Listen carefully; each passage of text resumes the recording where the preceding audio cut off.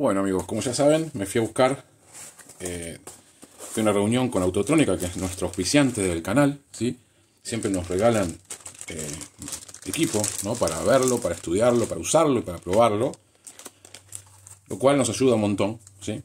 En este caso, uno es el Lexia, que yo en algún momento lo había mostrado, pero quería mostrárselos bien en detalles. Vienen con dos CDs que realmente no sirven para nada, ¿sí? No sirven para nada. Pero vienen con el equipo, ¿no? Porque uno de los problemas principales es la instalación de esto.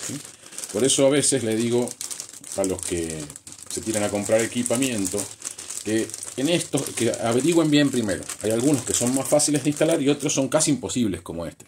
¿sí? Tiene que ser gente que lo haya hecho. Y ahora voy a explicar por qué. Porque dicen, ah, como si un programa se instala así nomás, es una boludez. No, ya sé que es una boludez. Pero en este caso, en este caso y en otros no. ¿sí?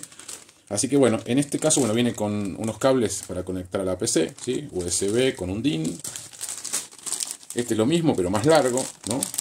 Ahora vamos a mostrarlo dónde se conecta, porque uno tiene para ponerlo directamente, ¿no? Y el otro es un poco más largo y demás. Yo siempre recomiendo, si bien el Lexia es uno de los que viene con cables más largos de todos, conseguirse un prolongador USB, ¿sí?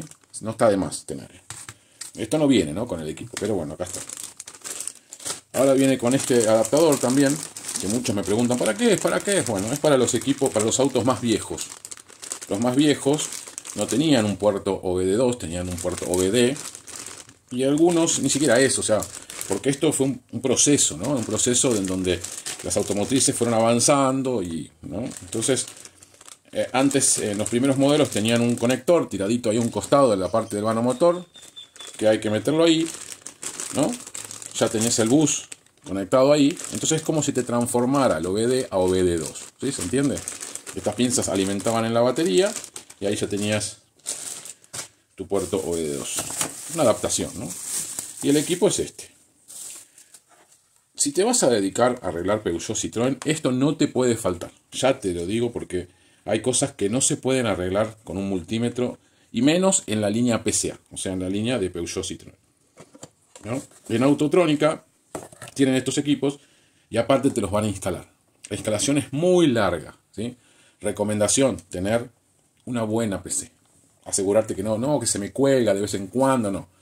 Trata de borrar todo lo que tenés. O sea, son recomendaciones, después cada uno hace lo que quiere, ¿no? Trata de borrar todo lo que tenés, instalar el Windows como corresponde, trata de tener un disco sólido, ¿sí? No importa que la computadora sea viejita, no importa, pero que por lo menos tenga un disco sólido y instalar todo y solamente usarla para el taller. No la deje que te la agarren los pibes, el sobrino, no la use para los jueguitos, no bajes archivos, solamente para el taller. Recomendación, ¿sí? Esto, eh, ¿por qué no te puede faltar? No, si yo tengo un escáner, no, y algunos incluso no me entienden que no se puede usar ningún otro escáner. O sea, podés ponerle otro escáner, pero no vas a poder llegar a todas las prestaciones que tiene esto. Con esto lo das vuelta, ¿sí? Ahora, hasta acá está todo lindo, es una interfaz hermosa, nos instalaron el software. Cuando llegamos a la parte de usarlo, te das cuenta de que la interfaz es arcaica. ¿sí?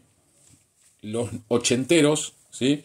como yo, por ejemplo, yo nací en el 72, los ochenteros, les va a parecer hasta, hasta fácil de usar. ¿sí? Va a decir, ah, mira, una boludez, parece bueno.